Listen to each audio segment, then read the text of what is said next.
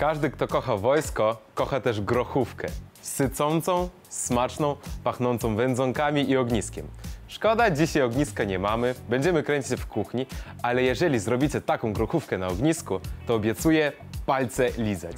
A do żołnierskiej grochówki potrzebujemy groch luskany, ziemniaki, wędzony boczek i wędzoną kiełbasę, surowy boczek, marchewkę, cebulkę, czosnek, pieprz, liść laurowy, ziarna jalowca, majranek. Więc przygotowanie rozpoczniemy od pokrojenia wędzonek. A Ciebie, Greto, poprosiłbym, abyś starła marchewkę na tarce o grubych oczkach, a cebulę pokroiłaś by w kostkę.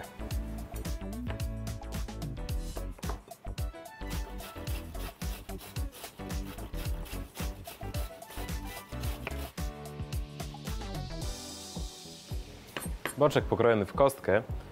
Teraz kroimy kiełbasę.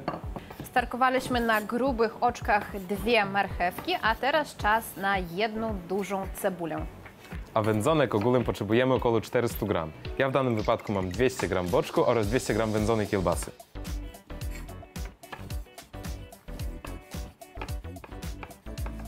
Więc mamy pokrojoną w kostkę cebulę, marchew oraz wędzonki. Czegoś brakuje, chyba grochu. Groch najlepiej namaczać dzień wcześniej, albo po prostu zdążyłby napęcznieć.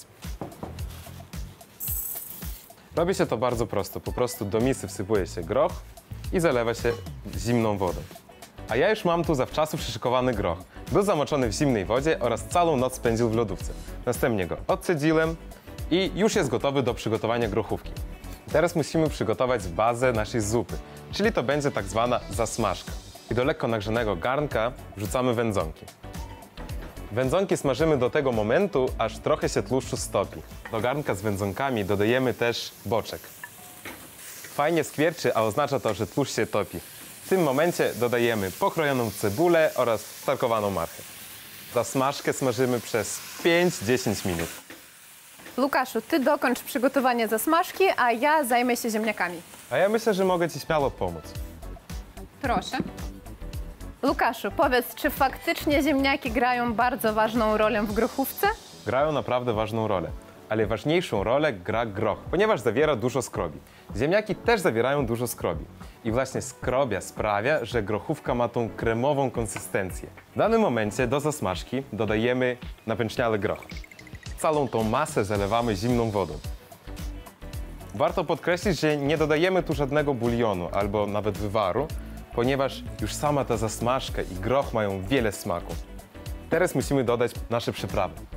Więc wrzucamy 3-4 liście laurowe, kilka ziaren jalowca, 3 ziele angielskie oraz 5-6 ziarenek pieprzu.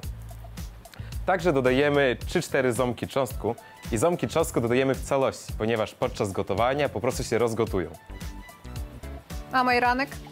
No i majranek. Dodajemy dwie łyżeczki majranku, który po prostu zaromatyzuje całą zupę. W kolejnym etapie wrzucamy ziemniaki do garnka. Taką grochówkę gotujemy przez około 2-3 godziny, aż groch tak się rozgotuje, że zupa będzie przypominała zupę krem. Grochówka. Najlepiej dzień wcześniej namaczamy groch w zimnej wodzie. Wędzonkę, surowy boczek i cebulę kroimy w kostkę. Marchew trzemy na tarce. Następnie do rozgrzanego garnka wrzucamy wędzonkę i surowy boczek. Po wytopieniu tłuszczu dodajemy cebulę i marchew. Całość mieszamy i smażymy przez 5-10 minut. Do zasmażki dodajemy odcedzony, napęczniały groch i wszystko zalewamy zimną wodą. Dodajemy liść laurowy, ziele angielskie, ziarna jałowca, ziarna pieprzu, ząbki czosnku majeranek i obrane ziemniaki pokrojone w kostkę. Zupę gotujemy przez 2-3 godziny.